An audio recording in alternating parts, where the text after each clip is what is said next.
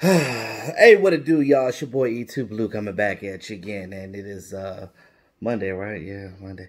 We don't even know what the days of the week are anymore with this COVID nineteen. I'm just, I'm, frankly, I'm just ready to get back to normal. Um, as you guys know, I'm furloughed, so I'm not working. Um, so it's getting real tight around this mug. So hope everybody's doing all right out there in um, YouTube land. Um, but hey, at least we got YouTube, guys. At least we got something to do, something to watch, something to figure out. Um, it just, uh, the question that we have is like, it's almost like when you was a kid. It's like, can I can I go outside to play? It's like, uh, when is outside open again? Like that's just how you feel. But you know, it is what it is. Before I get into the topic of the discussion, though, I wanted to talk about. Um, I meant to do it after it happened or whatever, but I just I I got other stuff going on, so uh, I I didn't get a chance to do the video when I wanted to do it. But um, this whole Dak Prescott and TMZ coming out talking about, you know, they had 30 people at a party, house party or whatever. So I'm gonna weigh in how I feel about it just real quick, just to clarify some things. So um, I've told you guys many a times when, you know, because if you notice, like when stuff comes out, you don't hear me talking about it. Normally because I think it's BS, and I'm like, there's no point in me wasting my energy on it. But I had some people in the comments asking me what I thought about it, so here it is. Um, I've, I've talked to you guys many times about this, and I say all the time, me personally, I don't like to judge anyone or any situation until I know the facts. And I suggest that all of you guys do the same thing because it makes a smart person to realize that it takes a smart person to realize that like you can't speak on anything that you don't know of or you can't justify a situation that you don't know you don't have solid evidence or facts about. That's with anything. So yeah you can have your own opinion about it but wouldn't you rather know what's going on before you judge a person, especially when it comes to a person's character or anything that they do or things of that nature, especially with everything going, everybody's judgmental about stuff. I'm I'm not one to judge people. It is what it is. Now, if you've been living under a rock, you don't know. TMZ came out with reports saying that Dak Prescott had a party of 30 people, um, blase blase, you know, violating the um, stay at home rule and violating the six feet apart rule or whatever. But here's the thing you look at the video, it's a lot of things that like say that that doesn't make sense. So when you look at the food that Dak Prescott had, um, that's not enough to feed 30 people, first of all. Um, and then they said that he had a sit down dinner party. Probably. And maybe they didn't sit six feet apart, but that's I look at it like this: if it's a small group of people, hey, that's y'all business. Do what you do.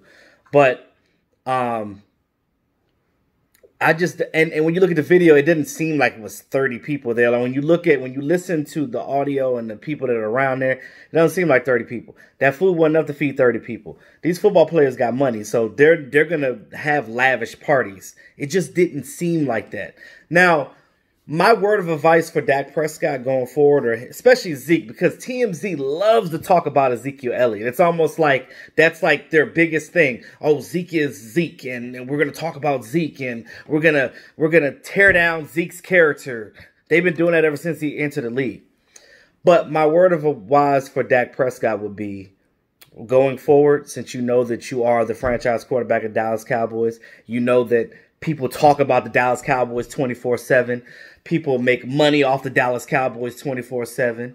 People that love to hate the Dallas Cowboys 24 um, 7. there's nothing to talk about because of the coronavirus. There's no sports going on. So we're going to talk about the Dallas Cowboys. So, because of that reason, you should already have a notion going on in your mind that, hey, in this situation, how about when you guys come to my house, put your phones up, no cameras. I would confiscate. I would have my doorman or whoever my butler is, because if I'm if I'm a football player, I got somebody answer the door. I ain't the damn door. But anyway, whoever's there, I would confiscate all your phones. I would put it in like a little dish, a petri dish or something. I would put it somewhere. There's no recording in mi casa. Okay, so again, if you work, even if that goes to working out, stop these players need to stop putting their workout videos out there because again, I know understand they want everybody to see them, but put the shit up. You know, do the shit privately. Why are you recording what stuff that you're doing? But whoever was there to record it and send it to TMZ, shame on them. But I mean, it just makes the situation look bad. Now, I'm not trying to protect Dak Prescott or any of that because I'm a fan or whatever. Has nothing to do with that. I just look at the facts. The police officer came to the house himself and said in the report that it didn't seem like they were violating anything uh, with the COVID 19 rules or anything like that. So, if the police officer said that there was nothing violating, why is TMZ putting this out? Um, trying to, you know, slander these cowboy players. And then everybody, because, you know, America's dumb, right? Because people don't do research on their own. People just listen to everything people say without doing their research. So, without doing your research, I always do my research, especially as a YouTuber, because I, I don't want to look dumb. I'm not always right. Nobody's always right. But at the end of the day, I try to be as right as possible when I'm bringing content to you guys because of the simple fact that when I talk about a situation, I want to make sure I got facts to back it up. That's just the way it should be. Um, but yeah, if the police officer says that they didn't violate anything, God damn it, they didn't violate anything. So my my the way I feel about it, it is what it is. So you know, no more talking about it because I ain't gonna talk about it no more. But that's all I had to say about that. Now, sorry that it, that was long winded. I didn't mean it to be six minutes on that, but um, the topic of discussion, the kicking game. So our kickers, you know, I did the video when Greg Zuerlein first got um, signed by the Dallas Cowboys. A lot of people was wondering about it and like, well, why would we sign him if we already have Kai Forbath and things of that nature? This is the thing. Um, you want competition on your team. And before Jason Garrett left, and I know that his regime was gone, before he left, he he always had a saying. And and you know, we always joke about Jason Garrett. We talk trash about him, and, and, and a lot of it is warranted. It is, it is because he's terrible. But um, he is a good dude, and I will say that some of the things that he said were right. You know, you know, we like competi- we like to provide competition because again when you have competition at your positions the person that's in that position can't be comfortable because what happens when a player gets comfortable um they get lazy and then they start playing terrible so you want your players at top notch ability every day you want them to go out there and show their grit and how good they are every single day without you know because you're looking like, well, this guy was a good player, but why is he not anymore? You know what I mean? So like that that you don't want. So by saying that, I, I, I say this now. We know that the Dallas Cowboys and as fans, we look at this team. We've had Dan Bailey for a while. Um, before that, the, the next best kicker before Dan Bailey was Buehler. I love David Buehler. When David Buehler was the was the um, I talked about him before in the video. I liked him as a kick. He had a real strong leg, but he was big as an ox. He was like Leighton Vander Esch, but a kicker. That's what he was. He was like a linebacker kicker. They could have put him out there on defense, and he probably would have pro produced. That's that's how much I, I love David Buehler when he he was here in the early 2000s.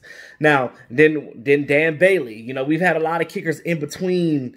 You know that that didn't fit the bill. But you look at I'm talking about the solid guys. You're talking about David Buehler. You're talking about Dan Bailey. Dan Bailey had you know injuries in the in in the latter part of his career, which ultimately um, made him get released. Now I don't agree with the fact that he got released because we ended up getting Brett Maher, Maharati, not Maher. So with the emergence of, of, of Brett Maher, you know, they loved his ability to kick the ball 60 plus yards or whatever and make it into the field goal, uh, into the goalpost. And, and, and, you know, they were fascinated by that, which I think was dumb because, again, you got to look at the guy's overall kicking ability. Now, he may have shown you that in training camp, but at the same time, you get into the you get into the the, the games, the real games, and he's missing 30 yarders. Why are you missing 30 yarders? Stop doing that. So when when we talk about these players, and you know, that's why we said competition is great. When Greg Zuerlein got signed, everybody was like, oh, why did they sign him? Me personally, I looked at it like this it was it was good. It was a good thing. And I'm talking about the kickers right now because ain't nobody talking about them. They're always forgotten about. You know, special teams is not a thing that people talk about now. But I just wanted to clarify because Greg Zuerlein said um, in his interview that I plan to win the starting job. Basically, like I'm to be it. Now, of course, they use that as a headline quote because you know it stands out. Um, and as a player, you should always be confident within yourself. That's always, always be confident. Um, so I love his confidence. Now let's let me break down a little bit of numbers of all three of the kickers. Now I'm talking about Brett Maher too. So as we as I like to go into a segment called the kicking fiasco, right? So Brett Maher, when he was with the team, he had a dismal, a dismal kicking percentage of 66.7%, right? He missed 10 kicks, 10 kicks from 30 yards or greater. But wait a minute. And I know you guys are thinking, wait a minute, E2, but I thought you said that he was great at kicking 50 and 60 yarders. Yeah, he was, but he wasn't consistent. He was good enough to beat out David, I mean, Dan Bailey, but I feel like they, Dan, they, I feel like that they cut Dan Bailey too soon. He ultimately went to the Vikings, and he's doing all right with the Vikings. Now, the thing about Dan Bailey, he had um, what is it the uh, hamstring injuries and groin injuries. When you have, when you're a kicker and you have any upper leg thigh soft tissue injuries it is going to affect your kicks very much so. And as a kicker you can lose focus like this. It's it's one of those positions where we forget about kicker because we think that it, it doesn't matter in football because it's not a skill position. But for somebody like me that has played football, even though I've never been a kicker, I always have respect for those guys because it's a lot of pressure to be a kicker. Even though you just come in and do that and step out of the field, every time you kick is a pressure situation. You look at other positions on the field, it's not a pressure situation 24 7. But when you're a kicker, you are under pressure, under fire, everything. So if you miss one, people are saying you suck.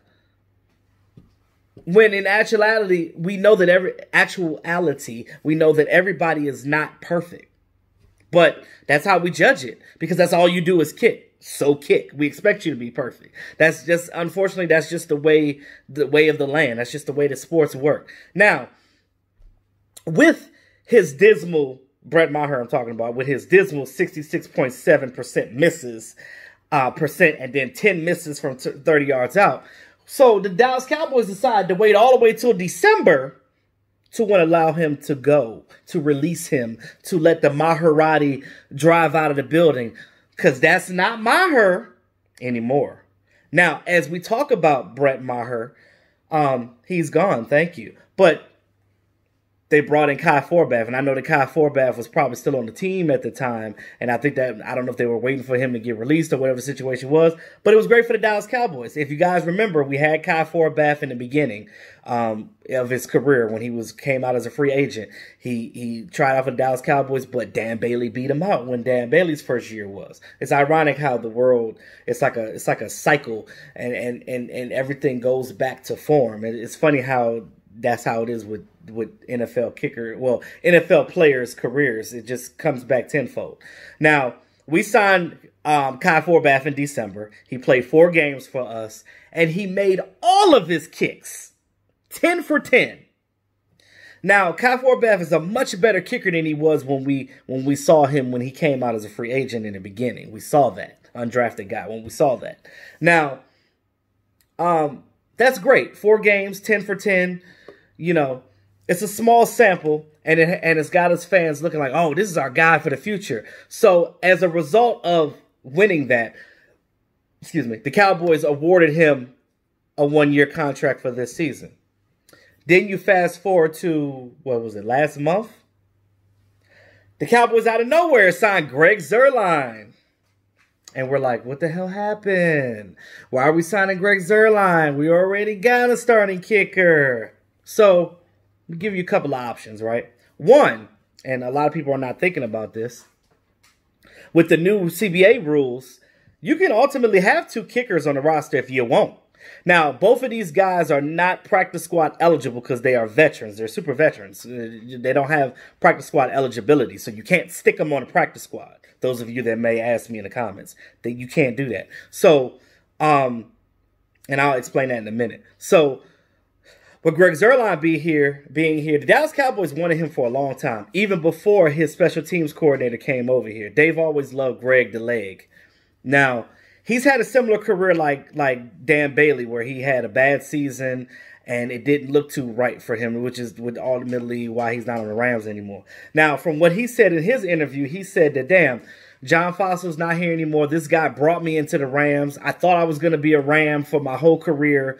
Um, John Fassel brought me in. He's gone. He's with Dallas. And he started thinking, like, hmm, the Rams released me, so maybe I could go to Dallas. So I think a lot of that was a big mutual agreement for him coming to Dallas.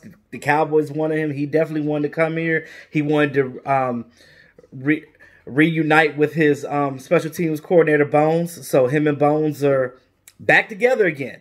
And I think that with John Fassel here, um, it's going to be good for Greg Zuerlein. He's going to get back to his form. Now, the bad seasons that he had, and I'm going to give you the, the numbers on that in a second. The bad season that he had was primarily due to um, his mental, like he wasn't into it that year. He was probably having some personal issues, which of course he didn't say in the interview. I think that, you know, we all go through things. Hell, I'm going through things right now in life that you guys will never even know about. But I try to keep a smile on my face every day. But because of that, you know, you never know what people are going through. And a lot of times when you're doing things, if it messes with you mentally, it, it's like a psych out. And you end up doing bad and you don't play as well. You don't do what you need to do as well. So with that, with that, you have that. And then on the other end, he, he had some injuries and stuff he was going through. So that that that plays a big factor in your playing ability. Now, his name was Greg the Leg for a reason because earlier in his career he was a beast. Now I know that you know the last two seasons wasn't his best, but you know he tried. He tried. Now as far as Greg Zuerlein goes, we know he was signed for with the Cowboys for three years, seven point five million with two hundred two two point twenty five million guaranteed. Now people look at that and be like, damn. When you look at that, you would assume that he is going to be the starter over over Kai Forbath because he's got a three year contract as opposed to Kai's one year, and because his old uh, special teams coordinator is now his new special team coordinator with the Dallas Cowboys. So you would think that Greg's got the upper hand, but in actuality, Dallas Cowboys want to create competition wherever they can, and I and I'm all for it. I'm all for the competition. Now, Greg says that hey, I know Kai Forbath because he came in with the Rams when he was a free agent to try out for the team or whatever. Um, so you know they kind of know each other. So he was like, "There's no animosity there. It's just good. It's just good fun. Why can't we just keep friendships, friendships, and job, jobs? So we can't let a job come through between friendships. Now, so Greg the leg. So in with the Rams, I think his last season he was seventy two point seven percent, and that still was better than what Brad Maher did. So either one of these kickers are better than what we had with Brad Maher. So don't fret, guys. Um, he missed eight kicks from 40 yards or greater that season. And in 2017 was his one of his best years when he was 95% accurate. So that you know he he's he was coined Greg the leg for a reason. Um now last thing before I end the video. Um sorry if it's too long. I, I just I had a lot of information. I just had to get it to you. Now, last last note. Um this competition right here is good. Now, if for whatever reason, because both of these kickers are good, I like both of them. I like both of them. I really do. I like Kai and I like Greg. If, just say for whatever reason, like I said earlier in the video when I was talking about with the new CBA rules, you can have multiple kickers on your team for depth purposes. You can. If you if you can um, slide away from another position and have less in another position, you could do what you could do. Um, if for whatever reason these guys come in and they both kick dynamically, like and they like like it's a photo finish and they're even, I might wanna, I might wanna, you know, um, I might want to keep both of them because if one does great or one has a bad game, you could switch them out. Why not? If you got the space in your roster, do it if you got if you have the space, do it. I would if they if they decide to keep both kickers after they and if they can't decide who they want to keep and they want to keep both, hey, I'm all for it. Kai only got one year anyway, so you have him for this year. And then if Greg does good this season, you still got him for two more years afterwards. So you're good either way. That's just how I feel. Let me know what you guys think about the kicking situation and the Dak situation. Sorry for the video being too long. I just had to get that information out because I didn't get a chance to do the video before. But thanks again to all my subscribers. I appreciate you guys um, for what it's worth. Um, if you're new to the channel, go ahead and support your boy. Go ahead and subscribe, hit that notification bell, get your just just just get it. Just get this content. It's your boy E2 Blue, always keeping it real. Talk to y'all soon.